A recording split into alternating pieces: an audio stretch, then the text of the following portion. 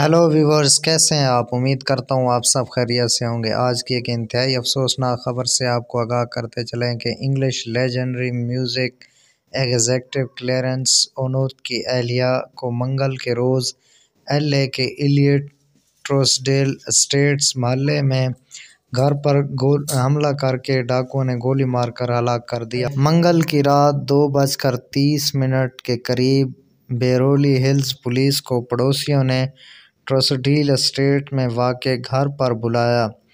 جب nine eleven کال کرنے والے نے بتایا کہ اونیت کے گھر سے گولیوں کی آواز آئی ہے، جب پولیس پہنچی تو اسے گولیاں لگی ہوئی تھیں۔ اونوت کو فوری طور پر ہسپتال لے جایا گیا، جہاں بعد میں پولیس کے پہنچنے سے پہلے ہی وہ دم توڑ گئی۔ لیجنڈ میوزک اونوت کی اہلیہ کو لاس اینجلس کے ایک اشرافیہ محلے میں گھر پر حملے میں ڈاکوؤں نے ہلاک کر دیا۔ ٹی ایم زیڈ کے مطابق اس کی ہلاکت موقع پر ہی ہو گئی تھی۔ ناظرین، امید کرتے ہیں آپ کو ویڈیو پسند آئی ہوگی۔